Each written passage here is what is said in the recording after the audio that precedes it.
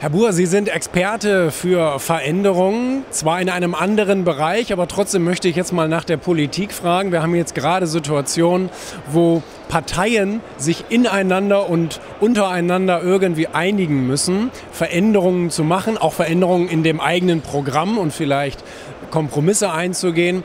So, Sie als Experte, was haben Sie da für einen Blick drauf? Wie kann so etwas funktionieren?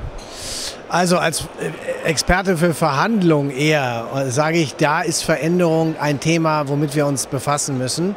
Und wenn es jetzt um die Koalitionsbildung Jamaika geht, nehmen wir das ganz konkret als, als Anlass, dann haben wir dort drei Parteien, die ja Gemeinsamkeiten haben, wenige möglicherweise, und dann haben sie Dinge, die nicht zusammenpassen. Und wie läuft so ein Einigungsprozess? Das kann ich aus der Insight sagen. Im ersten Schritt treffen sich mal die Protagonisten und, und versuchen mal in einem Raum störungsfrei Zeit zu verbringen. Das ist das klassische Kuschelprogramm. Es ist so der Versuch, können wir überhaupt an einem Tisch sitzen? Das ist agendafrei, es ist auch ein absichtsloses Treffen. Klammer auf, im Hintergedanken schon nur der, die Idee, passen wir zueinander, kann ich das mit, mit dieser Person, mit jener Person zusammen im Raum aushalten. Dann im zweiten Schritt wird geguckt, wo gibt es Themen, wo wir übereinstimmen thematisch. Also Schwarz, Grün und Gelb.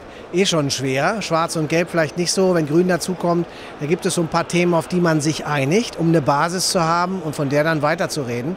Und dann weiß ich auch, dass es einige, und das ist, hier sind die Dollpunkte, einige Punkte gibt, wo die Parteien sagen, da sind wir festgefahren, das wollen wir nicht hergeben. Das ist so eine Bastion, dafür sind wir gewählt worden, das ist unser Wählerauftrag. Und da wird dann spannend zu sehen sein, wie sozusagen das eine vom einen gegen das andere vom anderen getauscht wird. Also im ersten Schritt mal hinkriegen, dass eine gemeinsame Plattform tatsächlich auch faktisch untermauert ist. Und dann äh, bin ich jetzt schon gespannt darauf, wie das werden wird, wenn dann die Protagonisten der jeweiligen Parteien vor die Kameras treten. Meistens spät nachts, äh, immer müde, äh, immer abgekämpft, damit sehr authentisch, natürlich, um dann zu sagen, man ist auf dem richtigen Weg und dann wird eben die Schnitt, Schnittmenge äh, möglicherweise größer. Sie haben ja einen Auftrag des Wählers und ich bin gespannt, wohin das führt. Sie haben jetzt gerade den Wähler angesprochen und genau dem muss ich das dann ja nachher verkaufen und vielleicht als Partei auch eine Veränderung äh, bekannt geben, wo man sagt, äh, das war Position A, die wir im Wahlkampf vertreten haben und jetzt mussten wir uns auf Position B äh, einigen. Wie macht man so etwas? Wie verkauft man so etwas? Ja, also äh, wenn es darum geht, kann ich äh, tatsächlich mehr sagen. Da gibt es wenige gute Verkäufer, finde ich, in der Politik. Ja. Grundsätzlich gilt so ein Satz, wenn ich fünf Punkte habe, die ich äh, reklamieren will, fünf Punkte und gibt der eins ein Top und gibt der fünf ein Flop, das sind fünf Punkte, die ich erklären will. Und eins ist mein bestes Argument und fünf das am wenigsten starke. Wäre meine Empfehlung, gib dir folgende Struktur. Fang mit der Nummer zwei an, als Opener, als Idee, als äh, auch als Attention Step für meine Zuhörer.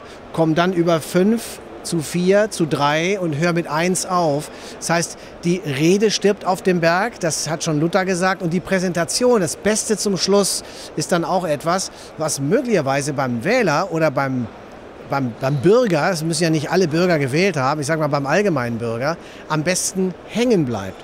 Und diese Dramaturgie, finde ich, könnte geübt und trainiert werden. Und dann wäre es natürlich schön, wenn das auch in einem rhetorischen Fluss käme. Äh, das können wir von dem einen mehr erwarten als von dem oder der anderen. Vielen Dank, Herr Buhr. Danke sehr.